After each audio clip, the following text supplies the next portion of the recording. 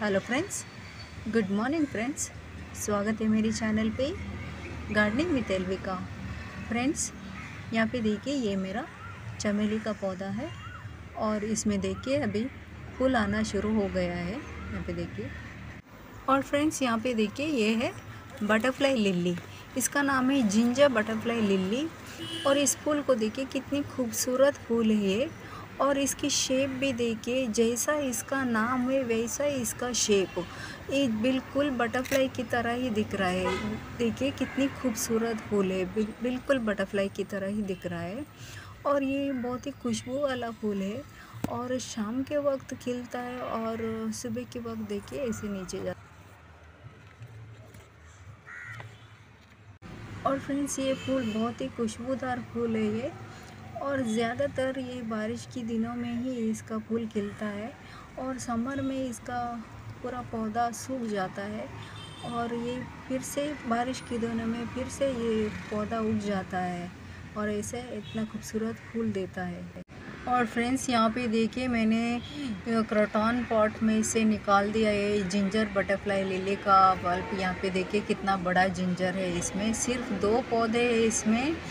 यहाँ पे देखिए, सिर्फ़ दो पौधे हैं और कितना बड़ा जिंजर मिला है मुझे। और मैं ये क्रोटॉन की पॉट के अंदर उग गया था। कई उस मिट्टी में ये छोटा सा जिंजर रह गया था और उसमें से बहुत सारे पौधे निकल गए और कितना बड़ा जिंजर हो गया। यहाँ पे देखिए, ये तो एक किलो का तो होगा ही इतना बड़ा जिंजर। यहाँ पे देखिए, ये अभी मैं निकाल के दूसरे पॉट में लगा दूँगी। और मुझे अभी क्रोटॉन पॉट का भी रिपोर्टिंग कर रही हूँ मैं। और ये जिंजर भी मैं किसी और पॉट में लगा दूँगी। ये देखिए कितना सारा मिल गया मुझे, बहुत। तो आइए फ्रेंड्स ये लिया मैंने, छोटा सा अदरक लिया है उसमें से। और जिंजर बटरफ्लाई लिली का अदरक लिया है। और बहुत सारा है मेरे पास और वो वो सब मैं कुछ किसी और पॉट में लगा दूँगी। अभी ये छोटा सा लिया है मैंने और इस मिट्टी में लगा दूँगी। इस, ये लिया है मैंने, सिर्फ़ मिट्टी है इसमें और इस मिट्टी में मैंने ये अदरक इसमें लगा दिया है और इसको ऐसे पौधे भी लगा सकते हैं। यहाँ पे देखिए, ये छोटा सा पौधा भी निकला है और उसमें देखिए, उसमें जड़ें भी निकले हैं और ऐसे आप वो पौधे भी लगा सकते हो और या जिंजर से भी लगा सकते हो।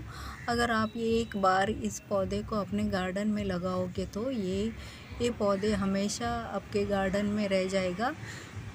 ये कभी आपके गार्डन छोड़ के नहीं जाएगा।